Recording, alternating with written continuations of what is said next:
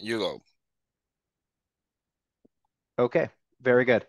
All right, uh, so uh, welcome everybody. Uh, we're covering chapter seven uh, in the book this week. Uh, the chapter is very similar to chapter six, where we're still looking at breakdown plots. Uh, the extra wrinkle that we're introducing this week is we're um, including interaction effects in these plots. Whereas chapter six, we were just kind of looking at those marginal additive effects. And so the layout of the chapter is is very similar. There's a basic overview of what we're doing. Uh, we're going to provide some basic intuition uh, of, of, you know what what the interaction effects are, how they work. Um, provide some examples using the Titanic data that we've been looking at um, in the previous chapters. Uh, we'll, we'll have a breakdown of, of how um, the, the, contributions are, are calculated, uh, then we'll wrap things up with a pro and cons list of, of uh, doing breakdown plots with, with interaction effects versus the, the marginal uh, that we looked at in chapter six. And uh, finally, we'll uh, look at a couple of examples using the R code that are presented in the in chapter seven there.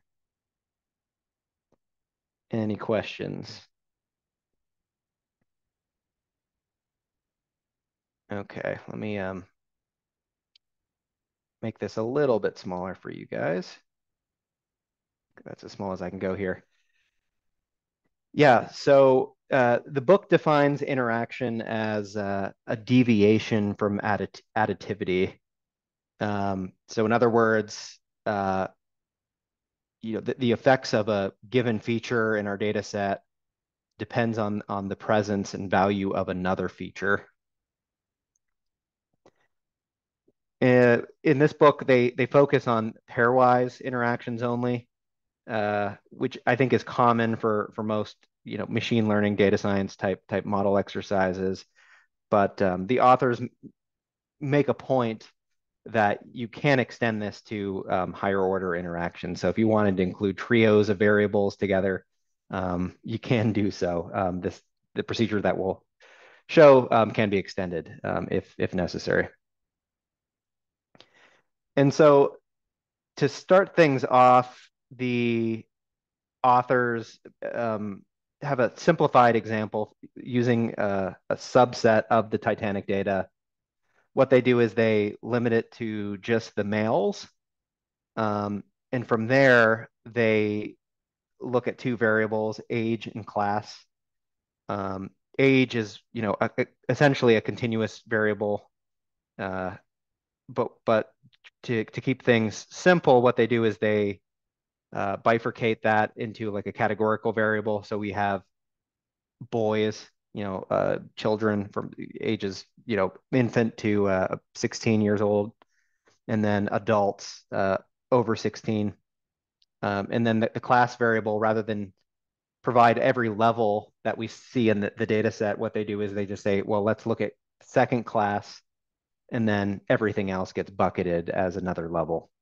And so uh, the table that we're looking at here, this two-way table is looking at the survival probabilities um, and broken out by by you know the, the different levels uh, in these synthetic variables that we just created here. Um, if you look at the bottom right here uh, from the data set, uh, you know, from, from this population of males, the uh, the mean survival rate's a little over 20%. Um, and then if we look at the marginal survival rate for like second class, that's in the uh, column on top right here, it's 13.5%. Um, we look at boys only, the marginal survival rate's 40.7%. Um, and so in this example, we are looking at a, a, a boy um, or trying to explain, um, you know, survival rate for a boy in second class.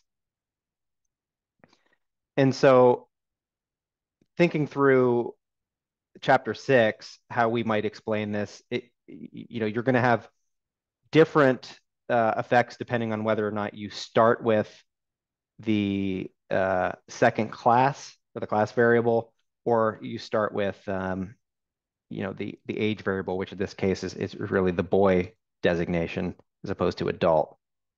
So if you start with second class, we see that the, marginal survival rate's 13.5%. Um, you know, you calculate the additive effect by subtracting out like the grand mean survival rate, which is 20.5%. So you get a negative 7% uh, effect uh, of, of being in second class. Um, and so then now you have this this 13.5% survival rate. Um, we know that second class boys survive at a 90 almost 92% rate. Um, you subtract those two items, the 90 91.7 minus the 13.5, um, and you get basically a 78.2% uh, contribution uh, due to due to second class. All right. So if we start on the other hand with the uh, boy designation as our first variable, so the uh, age being boy, um, we, you know, we see that 40.7 uh, is the survival rate uh, for boys. We subtract out the grand mean of 20.5, so we have an effect of 20.2%. Um, and then you know, uh, looking at the the additional effect of of boys, uh, it's it's 91.7%.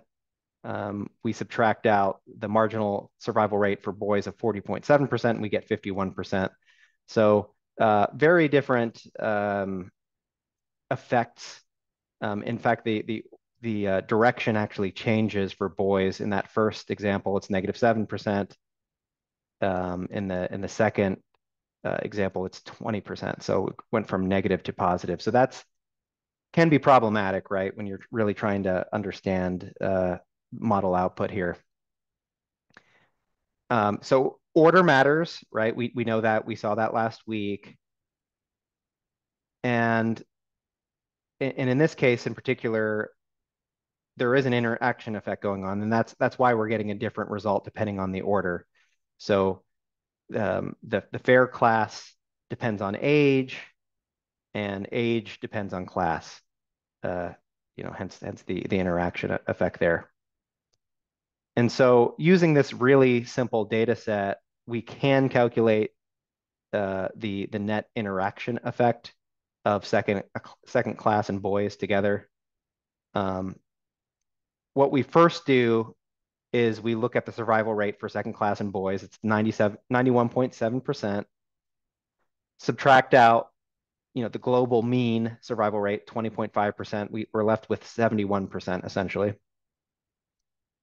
Uh, but then what you want to do is to, to calculate the net interaction effect, you subtract out the marginal additive effects uh, of boys uh, and um, second class. So that's uh, we, we, we showed that earlier, negative 7% and 20.2%. Um, so you subtract those two components from the 71.2 and you're left with 58% of a net interaction effect, which is uh, quite large um, in this case. Um, and I just wanted to point out, um, if there were no inter interaction effects at all, we, we could just um, simply add up the, uh, the contribution rate uh, the, the, the marginal contribution uh, rates uh, described earlier, the negative seven and the the twenty point two percent, uh, which would leave us with thirty three point seven percent. Um, we know that's not the case uh, here, right? because of the, the presence of that large interaction effect, it's fifty eight percent, and that gets us to the overall survival rate for boys in second class of, of about ninety two percent. Hopefully that made sense. Any any questions here? No, no, that's, you know, a really clever way that the book explained that that case. It reminds me to the total probability class. Like, oh, you you you can take the total and you you rest the individual parts so you know what is the effect that you are receiving for that interaction. So it's a really simple way to to explain that difference rather than just have the 33% that you have in the additive and it's more a, a, safer way to interpret the results because uh, for real, based on the additive model, you really don't know if you it's convenient to be a boy or not to be a boy because you will have different effects. But the reality that being a boy is good if you are also in the second class. Yep. Yeah, yeah. It's uh, a good combination to have if you were actually on the Titanic, hmm without a doubt. Um, I do have one question. If we go back to, I think I might be reading this wrong, but if we go back Mhm. to um the additive explanation one, Mhm. um, uh, let's can we also go back to the table for a moment? Yep. Yeah. So um, so just the overall survival rate is about 20%, and but and this table says um like the the added the survival rate the probability of survival for second class is 13%. Yep. So um I'm so I'm a bit confused by the first bullet then. It says there that the marginal probability for second class is 13%. Okay, that's what the table says. So the effects of boys is 7%. Should that be reading the the effects Ah, second yes. Yep. That's a typo. Thank you. I will uh fix that uh before I submit this thing. Yes, that, that is the effect of second class. Okay. Um and And and so I, I think both of these bullets are a little little backwards. So this this should be um boys here, this should be second class. Good call Yeah. out. Thank you. Um, yeah, one other thing is if we scroll back to the bottom of how we calculated the interaction effects, Mhm. so we did that by cal we did that by getting the um we did that by subtracting 91 minus 20.5 to get 71%. And then Yeah. if we just want to isolate the interaction effects, we subtract out the individual individual effects. So Yep. uh, my question is, um, the the negative seven percent and the the twenty percent. That's just one set of the. That's those are the um additive effects for like just one of the two orders. If we use Yes. the other numbers, would we get the same results? I think we would, right? When you say other numbers, I mean, from like from the added effects of explanation two. I see. Any any thoughts from from others here?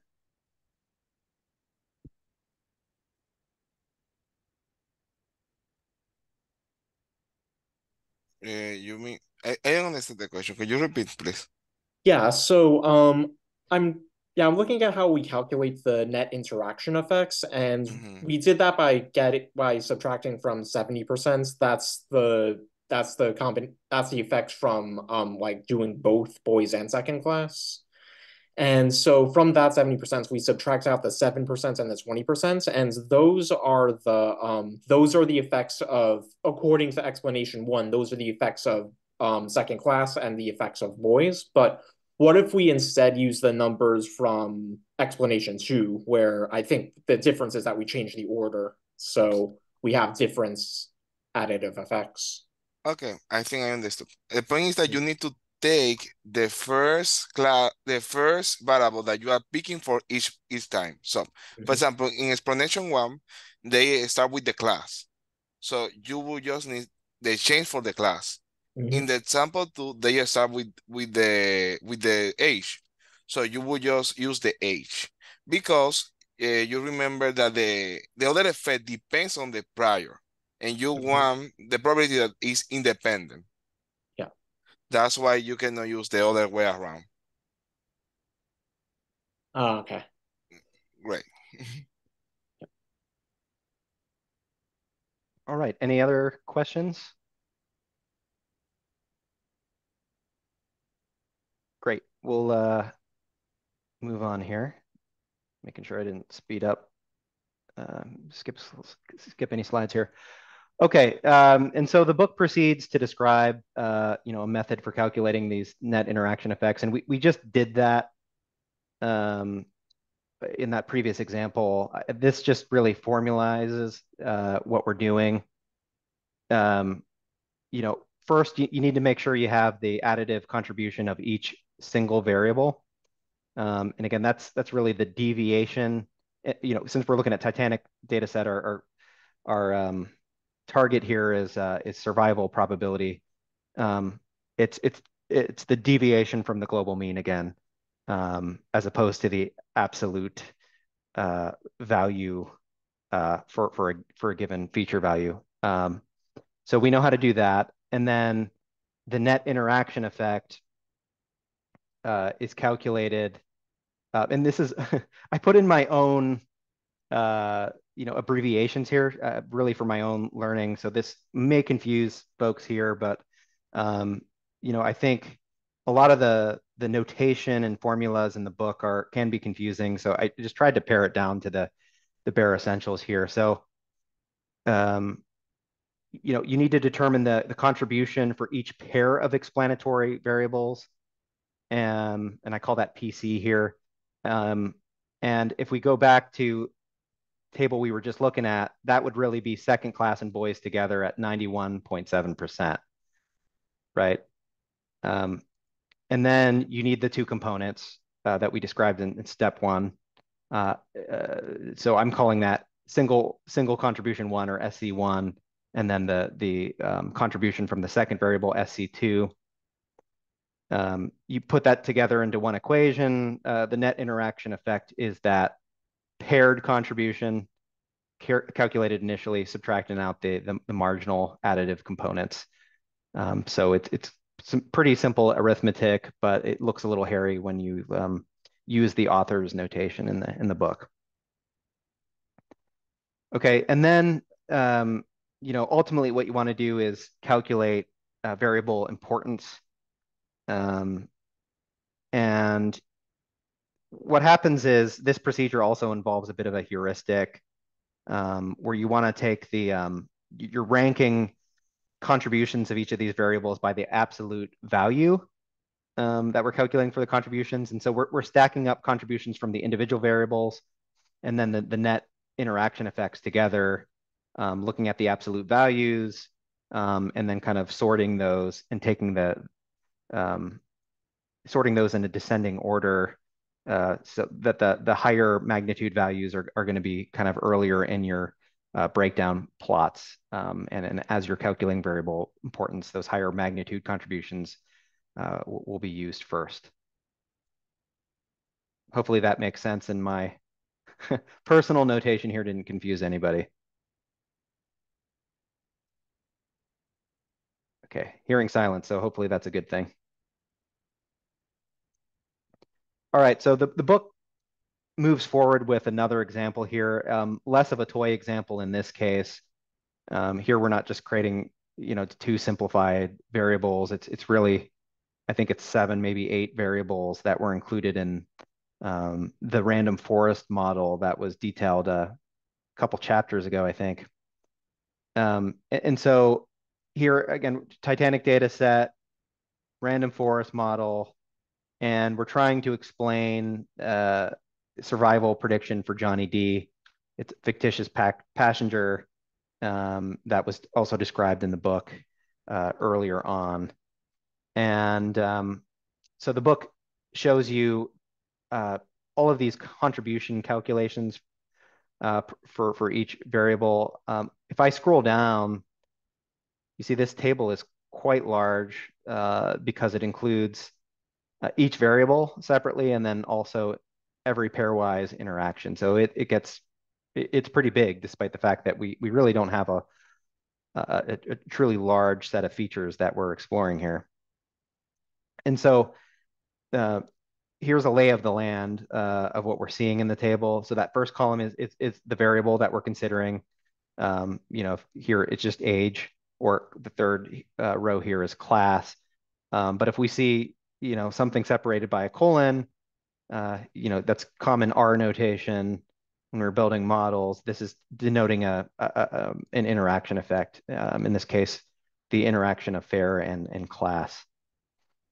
Um, and so, again, this is this is the uh, the book's notation uh, for for contribution effects. Uh, it, it is a bit confusing. So um, my definition here, column two is really that paired variable contribution. Um, so if we're looking at just a straight up variable in our in our data like age, it's blank. Um, it's only going to be populated where we're truly looking at a an interaction here. And uh, if if we think back to like that toy example we saw where boys in second class survived at a rate of um, 91 or 92%. That's what would be calculated here, subtracting out the, uh, you know, the global mean. Um, so we call that the paired variable contribution. Moving over to the, the rightmost column, we have uh, the single variable contributions. Again, that's in this case, it would be survival rate minus the, the global mean. And then this third column here uh, is really that net interacting interaction effect that we're most interested in. Um, and you can just calculate this uh, by taking the components in the second and fourth columns together. So at the end of the day, we don't really care about the, the second column here for the purposes of the breakdown plot or variable importance calculations, but we do need this as, as a intermediate step uh, in calculating uh, you know the net interaction here. Okay.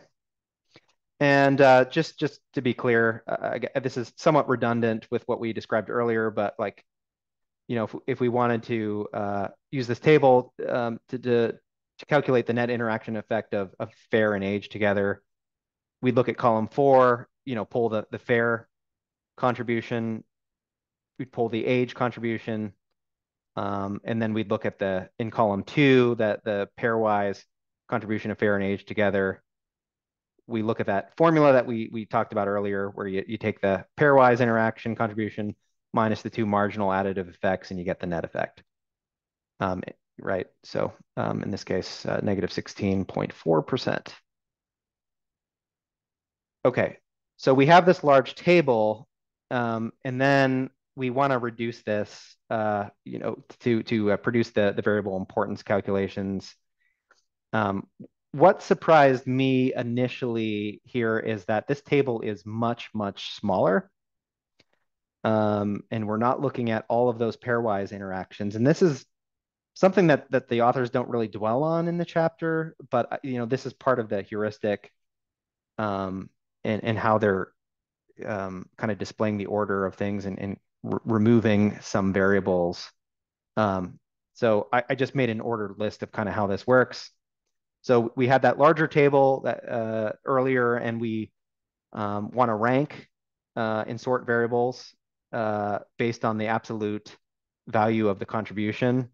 And so just scrolling up real quick from that table, um, it's already sorted uh, based on the absolute uh, magnitude in, in columns uh, three and four together. So you see like age is 27%, uh, fare and class is negative 23%. So, you know, this goes in descending order of magnitude. So once we do that, um, kind of the way this, this heuristic works is that you're only including each variable once. Um, so you don't see like uh, like fare in this case separately because we've determined that fare in class together is an important, uh, you know, has an important contribution to the uh, the, the total uh, survival rate here.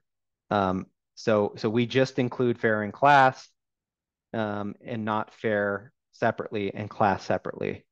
Um, curious if any of you have thoughts on that. I mean, I think from a visual standpoint, um, that makes uh, interpretation a lot easier. You know, that that table above was was pretty big, and I would think in if you're dealing with realistically sized data sets with many many features that that gets really difficult to to view here. So um, you know really in this case fare and class together had a, a pretty a high contribution together relative to just fare and class alone. So we we only include the interaction effect. And uh, the procedure for calculating variable importance is the same as we saw in the, the, the previous chapter once we've kind of isolated um, uh, everything here in terms of uh, the contributions.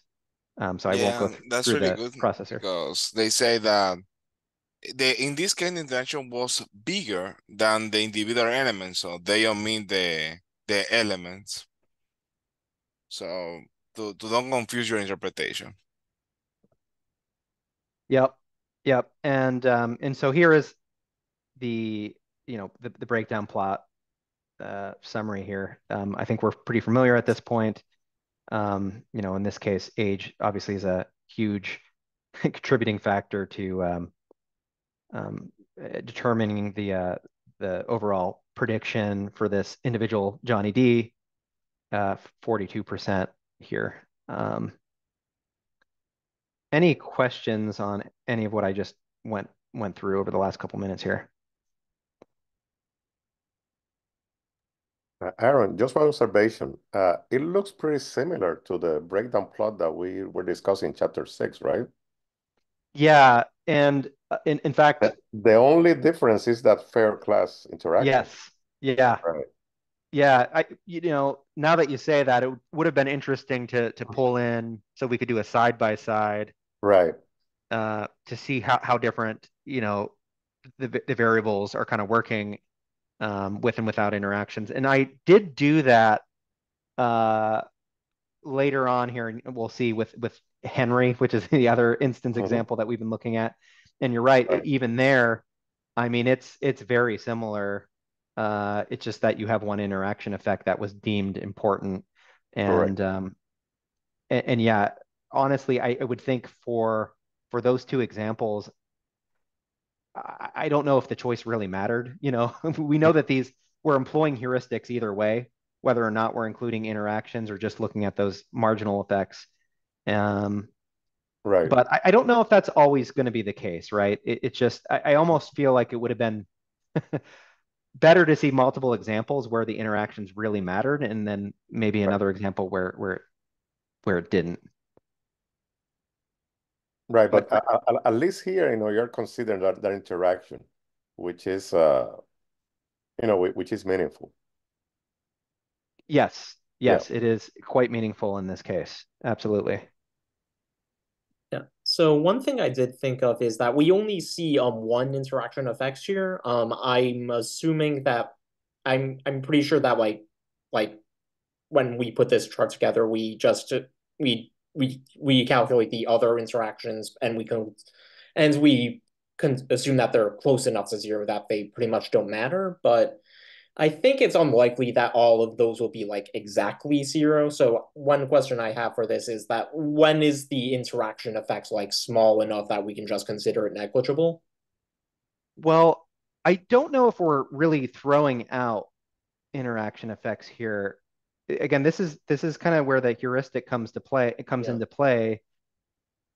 Uh, We we've we've ranked things in terms of their their contribution, and you know here fare and class kind of ranked to the top, Yeah. and it, it you know it was higher than uh the you know fare and and class separately. Mhm. And so I, I think what, what is happening really is you know, that the variable importance calculation is, is really including both the, the interaction effect and the marginal effects together. Yeah. Hopefully I'm describing that appropriately. So I don't think we're throwing anything out. It, it's just that we are we're kind of combining marginal and interaction effects to, together in some cases. I, I think that's that's really kind of what we're we're showing here. Ho hopefully, does anyone disagree with my interpretation there? Yeah. Um. Yeah. I think you have it right here. Um. I think I might have just gotten confused, honestly. Um. yeah, yeah, that's, Mhm. but honestly, you know, that's a really good point. Uh, and that that was my initial reaction as well, is that, you know, we, are we just throwing things out? Are we using like a threshold to say, here are important, you know, variables, and anything that just falls below a certain threshold, we just don't include it. But that's not not what is happening here. Mhm. I think that uh, yeah, we the, we don't they, we don't have a statistic test to validate this because in this case we just taking what the mother. It's like if you are sure that your mother is accurate, you know that is showing the reality, and this is what the, your mother have. You don't may, might not have a statistic test to see if that happens always, but you have a high probability to have Mhm. and repeat that result. So maybe that the that is more related to the mother accuracy. You can repeat that pattern with with the mother. I, think that would be the point in the size of the feds, the, the, the, the size is not like, it's relative. So as you are changing from, oh, you have eight age and then you have the interaction effect, it's that maybe the interaction could be larger, larger if you change the order, you know, of the variables. So the magnitude here is not maybe the most important thing because maybe you have a short but a really important and persistent uh, variable. Maybe by changing the order of the variables, you might see if something is persistent because uh, this is not a exact sign. Uh, that's the point. Yeah, yeah, it's not an exact science. I, I do think, Mhm. Zach, I mean, we could really do this this uh table that we're looking at here, this table seven three, and include all of the variables in this large table, and we would get uh, a different result. Um, I don't know if that the model that they train had just that variables because I think it was really similar. They didn't have all that, or maybe they just discard the interactions. th I mean, this is only like seven or eight variables total, and it's just there are a lot of pairwise interactions going on, Yeah. which is why this table is is so so so big. big. hmm Yeah. Yeah. Um. They But- omit but- the interactions. That that's it. hmm yeah. Yeah.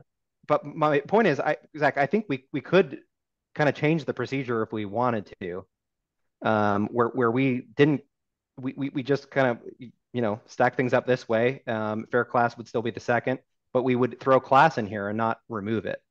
Mm. Um, and we would it would be interesting to see how different uh, you know the very variable importance measures would would shake out uh, if you included everything in here. And that's why I'm saying like the way they've kind of simplified things, I don't think we're we're not explicitly really throwing things out. I think it gets absorbed Yeah. um, in, in some of these uh, these measures here. Yeah, it gets absorbed because at the end you need to have your original prediction. You know, Yes. Yeah, ex- Yeah. exactly. I mean, Mhm. this if we look at the fare fare class row here, this 54-4, that that's a survival probability for Mhm. for folks that are age eight, right, and have a fare of 72 and are in first class. exactly. Um, so it is Yeah, include so- it is i- i- you know taking into consideration all of these elements. It's just yeah, we're really collapsing the interaction and some of those marginal effects kind of together and calculating that importance measure. Mhm. Um, and again, I, I I've still kind of struggled. The, the the authors don't dwell on this much um, in the in the text, but like, you know, how different would this be if we went the more complex route? I don't I don't know uh, what that would look like. Other than I think it would be harder to interpret, it, right? Because it would just be so so big. Um, I think that's the correct approach. They think, oh, you, you have two options. Or you take the single effect of the variable, or you take the interaction. You you cannot take both. Yeah. That that thing the, the approach, maybe by their experience, you know. So that's the recommendation by the authors. They say, oh, you have the individual variable or you are interpreting the interaction. Yeah, that, that's right. I, I think, you know, part of the confusion maybe for you, Zach, I know for me certainly is like when you think about regression modeling, you always learn like linear regression that if you include an interaction effect, you always include the marginal effects as well. It's just, you know, and you know, I'd have to refer to my notes for why you always do that, but that is that is considered a best practice. Um, right? You don't just include the interaction effect. Mhm. Ah, yeah, that, you're right. hmm And it's kind of similar, like if you're you're you're um taking like the square of a feature, you generally would include the the non-squared version of that as well. hmm The base, yeah. Yeah, e- e- exactly. So I- think I think that's kind of an apples to apples comparison, but I- I think that probably in the back of our heads when we think about that, it just it seems strange. Um, but but again, I, I do think we are really including the the marginal and interaction effects here. It's just this is more of a heuristic um, and and how we're ordering uh, these items so we so we get the the variable importance. Yeah, I think another yeah, I think another issue is just that if we try to include like both like the individuals and every interaction, like that would get very long. Like that would be like we have like eight variables here. We'd need to include like 64 plus eight variables if we want to include everything. Yeah, so Yep. I think the point of this is just to like is just to present the presents the explainers in a concise and informative way. It's not it it at some points it doesn't really help to like try to include everything. Yeah, A- agreed. Um, you know, it, again, it is a heuristic. Yeah. You know, I think we're all analytical people though, and we kind of want to understand why the heuristic Mhm. is employed, and Yeah. um, and we're kind of we're kind of making our own inferences here. I do think you're you're onto something there with the getting to a, a, a very condensed uh, form of this plot. Because if you you make it too big, and you can see with seven or eight variables, this thing would blow up if you included everything. Uh, that it would be hard to interpret. Okay. Um, uh, and I see some of my bullets uh, need some adjusting in my markdown. Mhm. I always struggle with uh, bullets. Um, but um, here are some pros and cons uh, of, of uh, you know these um, breakdown plots with interaction effects. Um, and, and some of the some of these these are carried over straight from chapter six. Um, you know, one of the pros being that this is a, a model agnostic approach. Um, you know, that can be this this can be calculated on any any model type. Um, the interaction effects potentially can be more accurate um, than than just looking at those um, marginal additive effects, um, which, which is great. Um, and you know these these plots in general, this is not necessarily more true of interactive, sorry, interaction plots as opposed to the the marginal uh, plots, but they can be fairly easy to interpret in, in general. And then if we look at some cons, um, this is you know more complex. You know there in terms of just um, probably time of computation, it gets pretty difficult because you know you see here um, th this formula uh, for for how many contributions you actually need to calculate between you know individual variables and the interaction effects. Um, so if you had seven features you're looking at, you know, uh, that would be what, seven times eight, 56, uh, divided by two, 28, um, separate items that you need to calculate. And, um, you know, thinking about real world data sets where you have so many features and it's a large data set to begin with, with millions of, of uh, records, that could be a, a real challenge. And I think, you know, the, the time of, of calculation, I'd, I'd really like to run this DALEX function on a really large data set with tons of features to see if it, if it um, can be run in a sufficiently, you know, short amount of time. I, I, I don't know if folks on here, I'm, I'm jumping ahead a little bit, but we're going to be looking at things like partial dependence plots later. And I, I've certainly used those um, in my prior work. And uh, those can take a very long time to run. Um, and, and so, you know, the Titanic data set is, is quite small, so this is not really an issue, but um, you, you always have to consider that the practical, like how long is this going to take, um, and whether or not you actually want to include the interactions. I- I'd, I'd say for this type of I don't, how much time do you say that was much, like an hour, two hours? Uh, I'm an impatient person, so I don't like waiting that long. but uh, you know, it's all relative, depending. You know, if if this is a work you're doing for a client, or you know, you're you have a, a pretty tight deadline for something, that may or may not be a big deal. Um, if you have if you're many months away from your deadline, yeah, an hour or two is fine. But you know, if this is running a couple days, like that's that's No, that's horrible.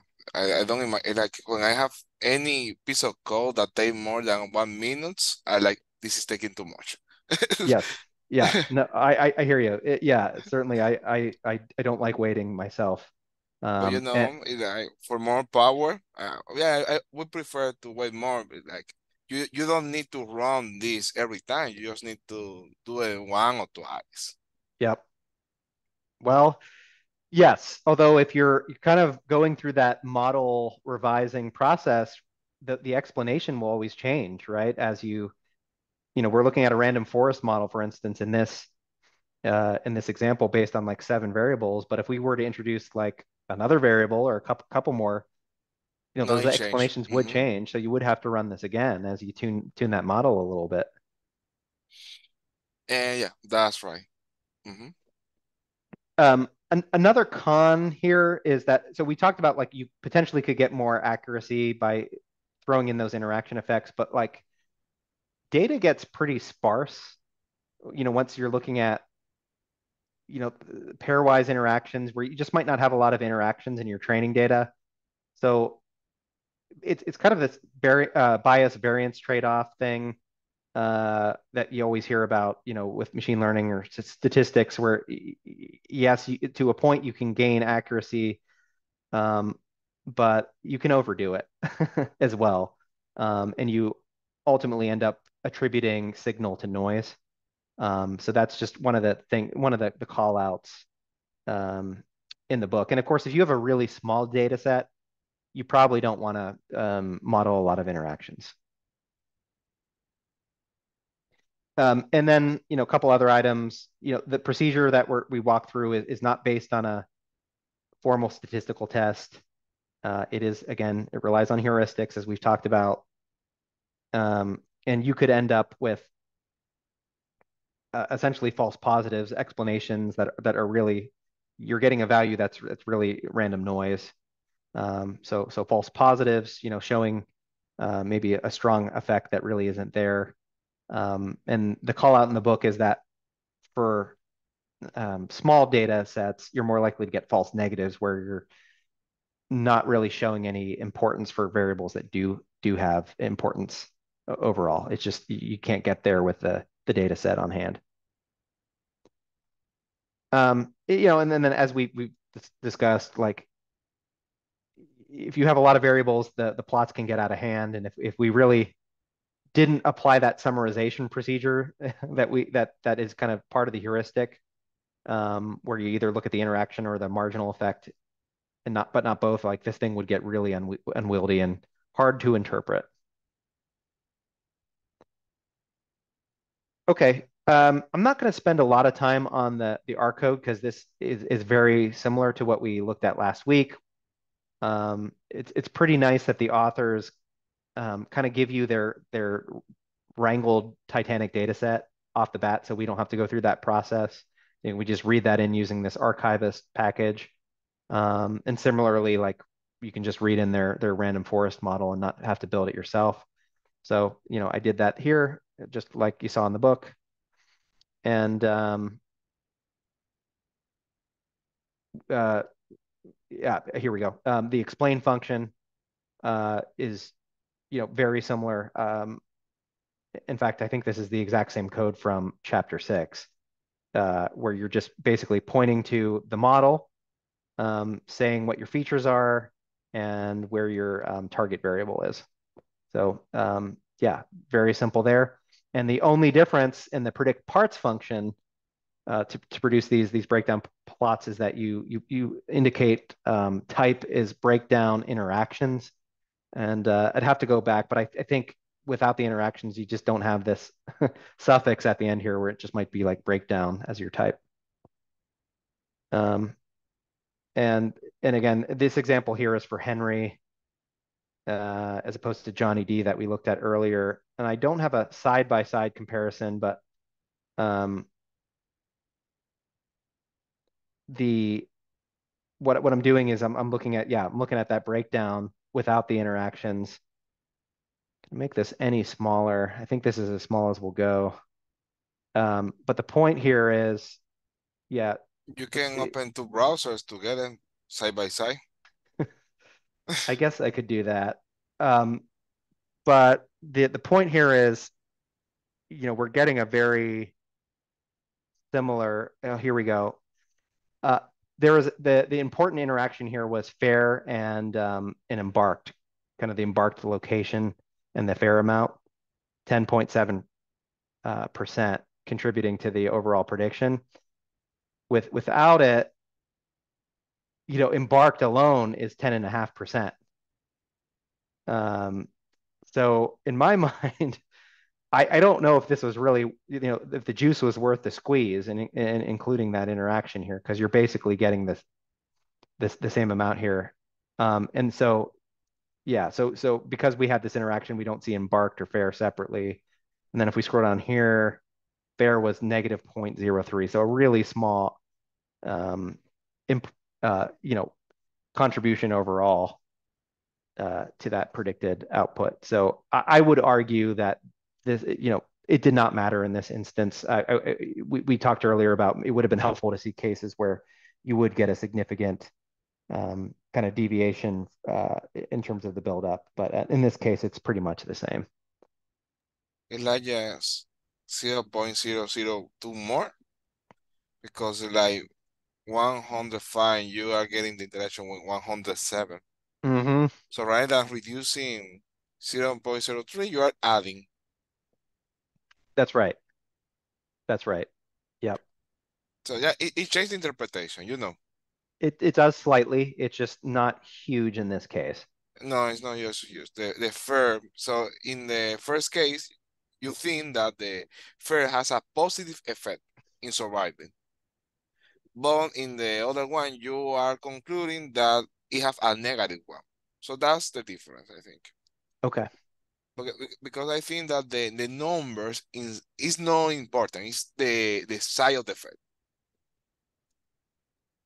Yeah, I think I think this is really these these plots are about order of magnitude. Uh, you know, there there was not really precision uh, here, but you know, again, I think of the example where like maybe you know if if you're working as a data scientist or statistician or you know, whatever, just you're a quantitative person in your respective field and you need to explain this to, you know, someone internally your company or to an external client, like you need to be able to explain why your model outputted what what it did. And I think this is a pretty good tool, particularly in those cases where you're getting strange output, right? That maybe are counterintuitive.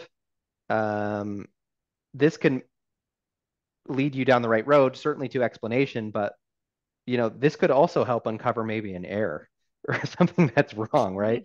Maybe maybe the data that, that you have that was used to construct the model is wrong. Um, you know, it's just it's just kind of a, a way to look in the black box. Um, you know, just to see if if this really aligns with what you would expect from domain expertise or through you know prior modeling or, or something like that. Uh, I think it's a really interesting tool. Um, but but again, yeah, I, I, would just you know take the the absolute numbers that you're getting out of these uh, plots um, as you know with a grain of salt. It's not going to be it's not going to be exact because we're we're kind of condensing things, making making some shortcuts, applying these heuristics to get there.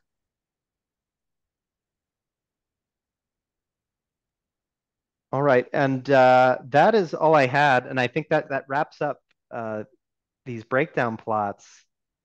Um, just as an aside, um, I have this other book that I have not really gotten far in, but I was aware of before this book. It's called Interpretable Machine Learning. If you, you just Google that, um, it's another free um, book that's um, you know I think produced in in, in Bookdown, and um, I think same general idea as this book, you know, trying to understand um, how black box models work. And uh, it didn't look like that author of, of uh, interpretable machine learning um, tackled breakdown plots. Um, and I'm curious, just just a question to the group here, if, if you've ever used breakdown plots before, um, you know, for fun or in your jobs or, you know, school or, or whatever. I mean, have you used these uh, before, and do you think these are, are pretty mainstream tools?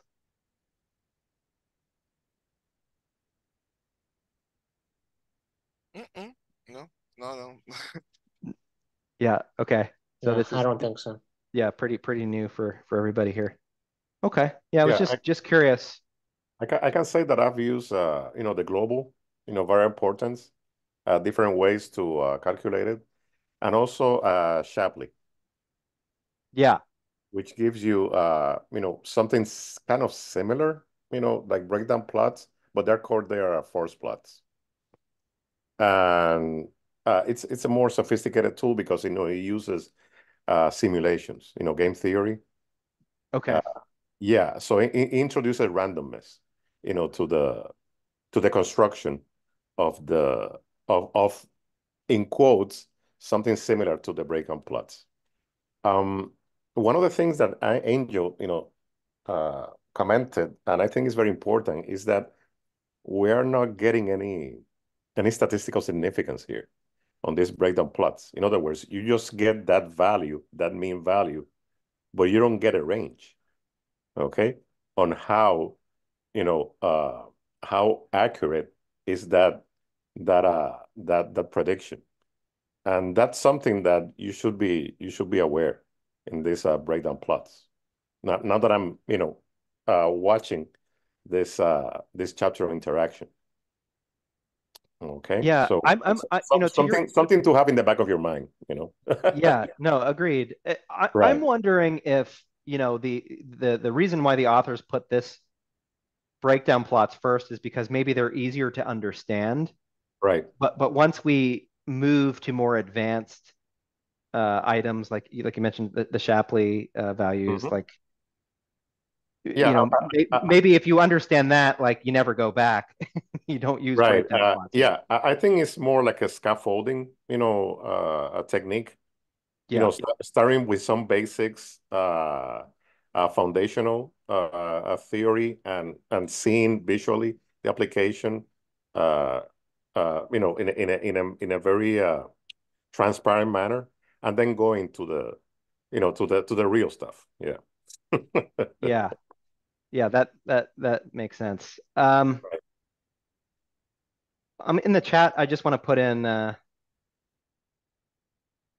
interpretable uh, machine learning book. Uh, I don't know. Uh, it's just one I've seen referenced in the in the past. Uh, um, I, I'm sure we all have uh, tons of free time to read uh, another book, particularly for the folks that are doing multiple book clubs here. But um, just just FYI, if you're you're interested, I've uh, just briefly scan that thing, and I hope to to look at it in more detail um, as time allows. Uh, I believe that that's one of the books that we We we consider, discussed about it. yeah, we consider for this book club. Okay. Yeah. Okay. The point is that it doesn't have code, for example. So Yes. Yeah. I think that's one of the downsides. I mean, this uh, book club, of course, focuses on R, and I, I do think you need to you need that hands-on. This is how you code this stuff, as opposed to just maybe the theory uh, and intuition behind it. So I, I think you guys, you know, um, did a good job in, in, in narrowing it down, and I think the book's been pretty pretty good so far. It was a slow slow going at first. the first couple chapters, I was kind of eager to get into the nuts and bolts, uh, but I, I think we're there already. So um, it's been good since we kind of got into breakdown plots in particular. Yeah, right. And also, you are explaining a chapter that is also related to that book, you can use it as a reference or maybe add it to your presentation, you know, because both, so you have two reference to the same theory. So yeah, Yep. that would be important to check out also. But I really like the way that this book explains, starting with a simple example, and then he explains you the formula. So even the notation sometimes is hard to understand, eh, you really get it thanks to the example. Yeah, that, that and the DALEX package, uh, you know, I think the real test is going to be does that thing scale well to huge data sets? Um, but I mean, the the syntax for it is really simple. Um, and so that's that's kind of exciting, right? From a workflow perspective, you don't have to know that much to, to run the functions in there.